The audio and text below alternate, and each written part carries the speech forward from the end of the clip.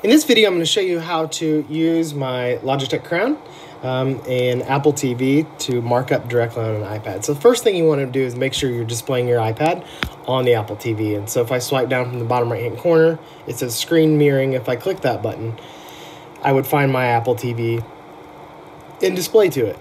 Assuming you've done that, then what you can do is you can go, let's pretend I have a document that I want that's printed off that I want to mark up. So I, I click the camera button and I'm literally just going to take a picture of my document. And so let's pretend I want to take a picture of this here.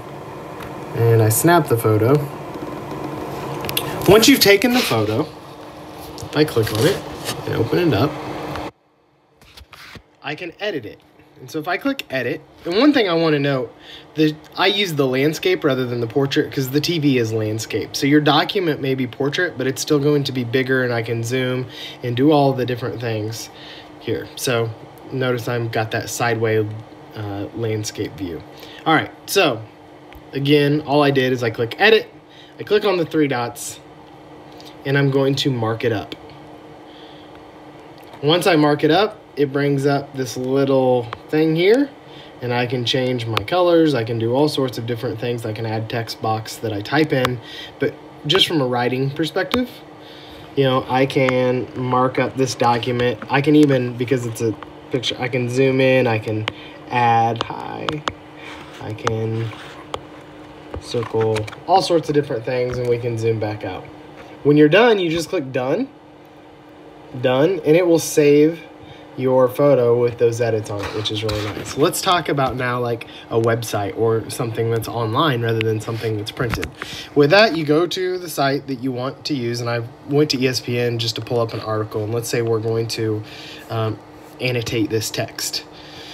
First thing, which is just a little uh, tip, if there's an article, if you click the AA next to ES, like the website, if that is there, it takes it you choose reader view, it takes away all the ads. It's really awesome. So check this out. Bam.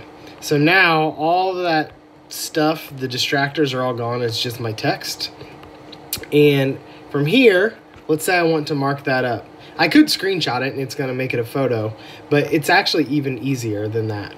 So if you click the Share button, which is the square with the arrow pointing up, which is right there, there's that same markup button. If I click markup, it's going to open this up basically as a PDF and it will do this with any website.